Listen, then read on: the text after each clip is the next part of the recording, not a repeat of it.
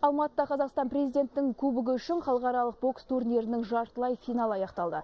Кездесу қорытындысы бойынша отандық 11 спортшы ақтық сынға өтті. Айта кетейік, ұлттық құраманың үш мүшесі қатардан шығып қалды.